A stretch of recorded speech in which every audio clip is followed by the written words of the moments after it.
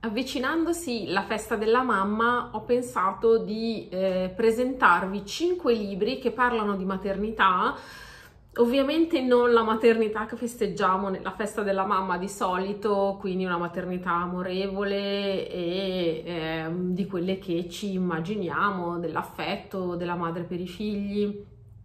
di un affetto spesso ricambiato ovviamente se festeggiamo eh, questa, questa, ricorrenza. Invece qui parliamo di maternità in maniera diversa maternità magari anche difficili incomprensioni eh, diversi modi di vedere la maternità a seconda dei romanzi di cui vi parlo. Mm, sono cinque, come vi dicevo, di cui eh, due cartacei, un ebook e due audiolibri, tra l'altro due audiolibri di autrici italiane, anche in un certo qual modo, secondo me, che dialogano l'uno con l'altro, ma ne parliamo quando ci arriviamo. Parto dal più vecchio di tutti, quindi un classico di cui avete sentito parlare in innumerevoli situazioni, non da me però, però è un libro molto famoso, sto parlando di Il ballo di Irene Miroschi. Irene Miroschi eh, fu un'autrice che ebbe un rapporto molto conflittuale con la madre, una donna di alta società bellissima, con un terrore di invecchiare e che è stata una madre matrigna nonostante fosse appunto una madre naturale e eh, che, eh, con la quale appunto il rapporto fu molto conflittuale e la, eh, che rifiutò anche di accogliere le figlie di Nemirovsky quando Nemirovsky fu deportata e mh, proprio una donna di un carattere terribile che è spesso poi tornata nei suoi romanzi e qui abbiamo appunto questo rapporto conflittuale madre-figlia ci troviamo in una famiglia di arricchiti. Scusate oggi non fa altro che eh, partire allarmi non si sopporta. Ho chiuso la porta, spero che non si senta più. Dicevamo che fu questo rapporto conflittuale fu all'origine di molti testi dell'autrice e questo anche parla appunto di una famiglia di arricchiti che cerca di entrare nelle grazie del bel mondo parigino eh, loro eh, soldi non gliene mancano, ma no, gli mancano le conoscenze giuste, quindi decidono di dare una grande festa per accogliere tutte le persone che contano e che si aspettano verranno incuriositi dalla casa nuova, da questa famiglia appena arrivata e dall'accoglienza che loro potranno offrire proprio grazie alla loro disponibilità economica. Hanno una figlia adolescente credo che abbia sui 12-13 anni, che la madre tenta sempre di trattare un po' come una bambolina, come un oggetto, come un qualcosa che non deve dare fastidio, che si deve adeguare a questo atteggiamento da parvenu che eh, al di là del fatto di essere arricchiti, che questo non c'è niente di male, però proprio di cercare la conoscenza, l'amicizia di quelli che contano, eh, l'insincerità proprio delle loro relazioni che poi porterà la figlia a vendicarsi. Non vi dico come perché se non avete letto il libro è, è, abbastanza sorprendente. Io che l'ho letto in una sera, perché come potete vedere questo non è solo il più antico tra tutti i libri di cui vi parlo, ma anche il più eh, piccolino e sottile e forse è uno dei più belli appunto la figlia si vendicherà di questa madre non curante, desiderosa soltanto di arricchirsi e di eh, mostrarsi per quello che non è. Eh, la scrittura è eh, affilata e tagliente, ma non priva di sensibilità, molto consigliata e tra l'altro può essere anche un buon approccio con l'autrice. Eh, devo dire che dopo la sua riscoperta se ne è parlato parecchio, ma adesso è un po' caduta nel dimenticatoio. Non dimentichiamo Nemirovsky perché è assolutamente una un'autrice di grande valore. Poi passerei ai due audiolibri italiani che secondo me appunto dialogano tra di loro perché eh, si parla di una maternità diciamo per interposta persona. Il primo di questi è Accabadora che, ehm, di Michela Murgia, ehm, la conoscete la storia, la storia di una ragazzina, mh, mm, siamo in Sardegna, che eh, i genitori non possono mantenere perché hanno tanti figli e che quindi viene richiesta da quella figura del paese che viene chiamata Accabadora, che accoglierà questa protagonista come una figlia e la crescerà mandandola a scuola, eh, permettendole di avere una vita tranquilla e serena, ehm, appunto, eh, e con avendo l'affetto di una persona non più giovane che potrebbe appunto essere sua madre, quando per sua madre non era rimasto mh, mm, più eh, la capacità di nutrirla e di darle tutte le attenzioni che invece in una vita, tra virgolette, di figlia unica ottiene però eh, Accabadora è, eh, come dice la parola, una donna che eh, pone fine alla vita delle persone che non possono, non riescono più a vivere perché soffrono tra atroci tormenti, sono molto malate, però lei lo fa solo e soltanto quando è eh, certo che non ci sia nessuna speranza di vita, che eh, le persone non hanno più, che stanno soffrendo terribilmente, non il semplice malato o eh, un, eh, quelli che vogliono essere tolti di mezzo dalla famiglia. Infatti ci sarà una scena in cui viene chiamata al capezzale di un malato e lei si rende conto che in realtà è la famiglia che l'ha chiamata perché vorrebbe eh, semplicemente accaparrarsi le, le, le proprietà del, dell'anziano, anche moribondo sì, ma non così vicino al limite da avere la necessità della cabadora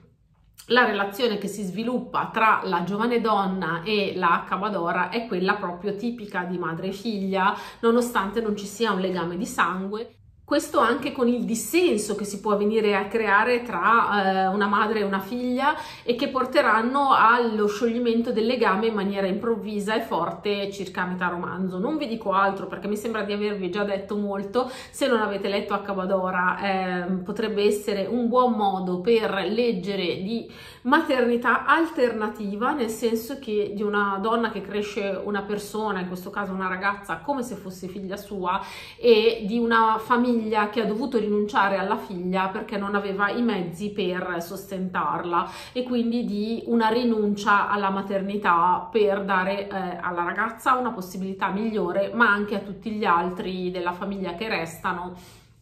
perché altrimenti non ci sarebbe stato spazio, denaro, cibo per tutti gli altri che sono rimasti invece in famiglia una storia abbastanza simile e eh, devo dire se non erro tutti e due hanno vinto il campiello, forse uno di due lo strega e l'altro il campiello, quindi dei eh, romanzi famosi pluripremiati, una storia di maternità per interposta persona è quella di L'Arminuta, una eh, ragazzina che nasce in un paesino sperduto nell'entroterra abruzzese ma che viene ceduta tra virgolette quando è ancora molto piccola a una famiglia di lontano lontani parenti che vivono a pescare e che non possono avere figli. Quindi lei cresce credendo che quella sia la sua famiglia naturale, da figlia unica in una casa benestante dove può frequentare una scuola eh, prestigiosa, eh, avere le lezioni di danza, avere una cara amica, una bella casa col giardino e avere tutte le cure che eh, ottengono le figlie uniche, quindi senza eh, dover litigare tra virgolette per l'ultimo boccone eh, tra fratelli e eh, senza avere magari nessun agio. A 12-13 anni la ragazzina viene riportata indietro, restituita e quindi ritornata arminuta eh, alla sua famiglia d'origine senza capire perché, le dicono semplicemente che sua madre è malata e lei si ritrova in un mondo che non conosce tra fratelli che non aveva mai visto prima in una famiglia povera eh, e oltretutto si ritrova con questa famiglia da cui lei si sente rifiutata perché era stata data via. Eh, avrà sicuramente un rapporto molto forte con la sorellina minore che è felicissima di avere una sorta di alleata, ma questo mondo di paese è completamente diverso da quello che lei aveva conosciuto fino a quel momento. Quindi eh, c'è miseria, la scuola non è di alto livello come quella che lei aveva frequentato e eh, anche il rapporto, cioè la gente parla in dialetto, non si capisce, lei è completamente fuori posto, un pesce fuori d'acqua e vuole tornare alla vita precedente e vuole anche capire che cosa sia successo perché nessuno le dice niente, perché lei non può più vedere quella che fino a quel momento aveva considerato sua madre, mentre la nuova madre, che comunque con lei è amorevole, affettuosa e anche tutto sommato contenta che lei sia tornata, per lei è un'estranea totale. E quindi eh, c'è poi tra l'altro questa differenza sociale per questa ragazzina che è sempre stata benestante, che all'improvviso si trova buttata nella povertà con questa sconosciuta che per lei è quasi una nemica. E in più lei è anche abbastanza studiosa, colta e proprio la, sarà la, la sua istruzione a salvarla e in certo qual modo a elevarla da un mondo di miseria. Non riesce a creare un rapporto con questa donna che ha, eh, nella vita non ha fatto altro che fare figli e ehm, non hanno niente in comune. Quindi è una storia, una riflessione interessante sulla maternità, su questo modo di gestire la prole numerosa e su un dolore di una ragazzina che scopre eh, che tutto il suo mondo va in frantumi. Quindi mm, una bella storia secondo me di rapporto madre e figlia, anzi madri e figlia, perché poi la ragazza scoprirà che cosa è successo e tutto quanto. Una cosa che quando io sono arrivata a quel punto nell'audiolibro sono rimasta veramente scioccata, non mi sembrava una cosa comprensibile Comunque eh, una bella lettura che vi consiglio. Veniamo a un grande romanzo di cui non si parla abbastanza secondo me quando si eh, cita l'autrice che io ho letto un bel po' di anni fa, potrei dirvi forse vent'anni fa e di cui non ho dei ricordi ultra precisi, però mi è rimasta questa sensazione. Sto parlando di La ballata di Isa di Magda Sabo, che racconta proprio un rapporto conflittuale tra madre e figlia. Abbiamo una madre anziana che ha sempre vissuto in un paesino sperduto in campagna, che si ritrova sola dopo la morte dell'amatissimo marito e che eh, si convince a eh, tornare a ad andare a vivere con la figlia che è una dottoressa molto stimata che vive a Budapest, quindi si trasferisce nell'appartamento della figlia dopo che ha sempre vissuto in una sorta di fattoria, quindi all'aperto con un tipo di vita di campagna va a vivere in città, una città che per lei è un mondo completamente diverso, un frastuono, l'appartamento piccolo e poi magari tutti gli elettrodomestici che ha la figlia, la vita che fa la figlia perché appunto è questa medico in carriera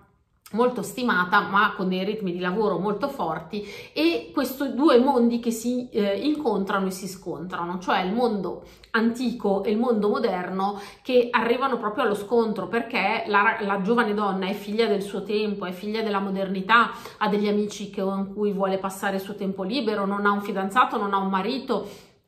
quindi fa una vita completamente diversa da quella della madre. La madre che cerca di aiutarla a, non so, a sgravarle le incombenze, ma facendo solo pasticci. La figlia che la sgrida perché dice come fai a non capire? E quindi c'è proprio questo scontro, questa incomunicabilità tra due persone che in realtà sarebbero portate a volersi bene. E quindi eh, davvero la, il disagio della donna, quasi incapace di uscire di casa in questa città per lei tentacolare, perché appunto nonostante Budapest non lo sia adesso, ma probabilmente all'epoca di questo romanzo, che se non sbaglio è stato scritto negli anni 60, ancora meno per lei era un mondo assolutamente terrificante, un po' eh, Chaplin di tempi moderni. E quindi il disagio totale, l'appartamento, la figlia che non la capisce e questa incomunicabilità, ma anche la rabbia della figlia che non capisce perché la madre non faccia semplicemente quello che lei le dice senza andare a cucinare sul pentolino cose improbabili che magari poi rischiano di fare eh, fughe di gas e quindi davvero due mondi che si scontrano senza incontrarsi mai. È un romanzo molto bello con la penna di Sabo molto eh, tagliente, affilata e che eh, assolutamente non, non, usa giri di parole per mostrarci come questo eh, loro rapporto sia assolutamente ehm, conflittuale, nonostante ci sia l'amore di fondo, perché non è che due persone eh, non vanno d'accordo e si odiano e basta, qui non vanno d'accordo pur amandosi. Molto molto bello, appunto, vi ripeto, io l'ho letto quasi una ventina d'anni fa, però ancora adesso ricordo di questo aspetto conflittuale, di questa incapacità di comunicare tra le due donne.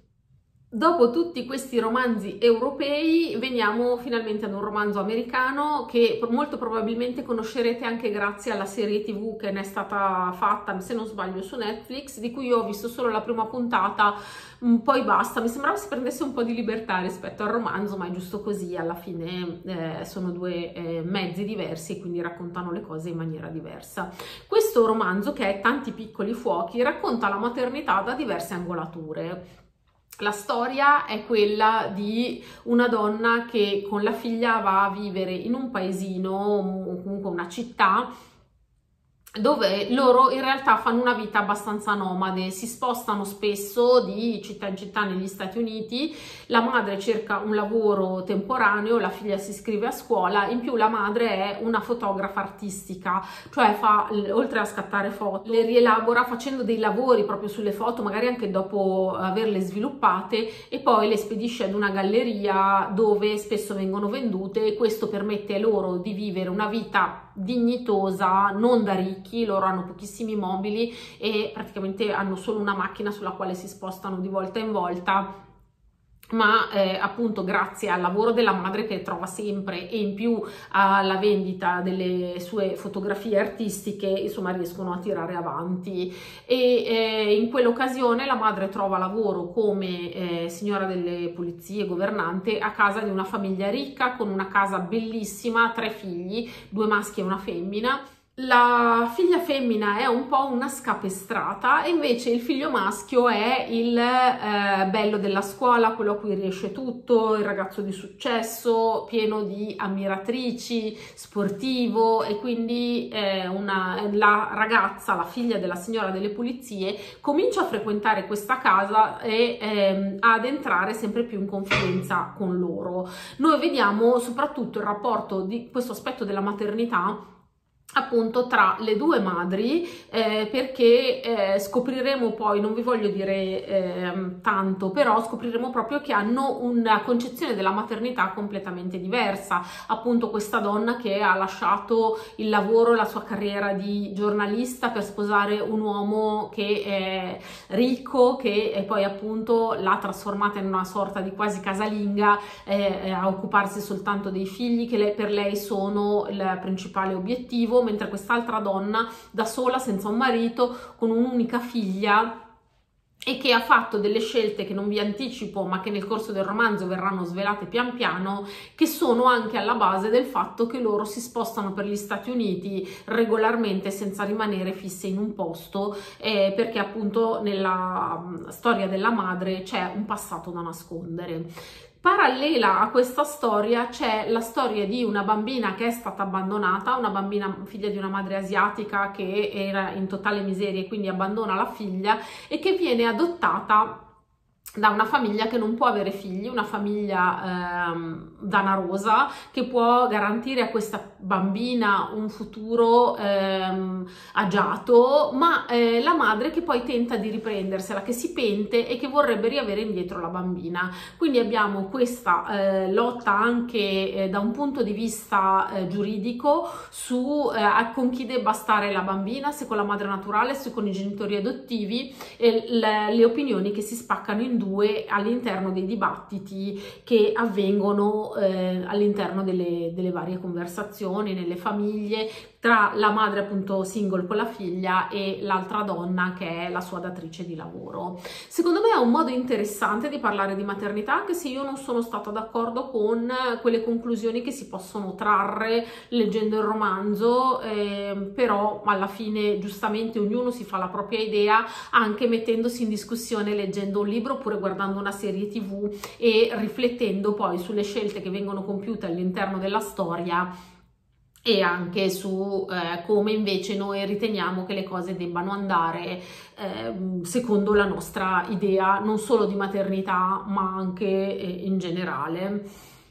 Quindi tutto sommato un romanzo anche abbastanza avvincente che vi consiglio, mm, adesso io l'ho letto in ebook quindi non vi posso mostrare com'è il carattere, però eh, si legge facilmente, devo dire che eh, dal punto di vista della prosa non è un capolavoro ma si lascia leggere nel senso che non ha uno stile normale, non, eh, almeno che a me non è rimasto impresso in maniera particolare ma sicuramente ha una scelta di trama e delle soluzioni interessanti per portare eh, il tema all'occhio del lettore e portarlo ad interrogarsi su quali sarebbero state le scelte che lui o lei avrebbero preso nella stessa situazione. Quindi tutto sommato ve lo consiglio anche come romanzo di intrattenimento. Fatemi sapere se avete letto qualcuno di questi libri, se vi sono piaciuti, se avete visto la serie Netflix fino alla fine, prima o dopo aver letto il libro, insomma chiacchieriamo nei commenti, spero che abbiate un ottimo rapporto con, vostra, con la vostra madre in generale, con la vostra famiglia di origine noi ci rivediamo giovedì prossimo e nel frattempo buone letture a tutti!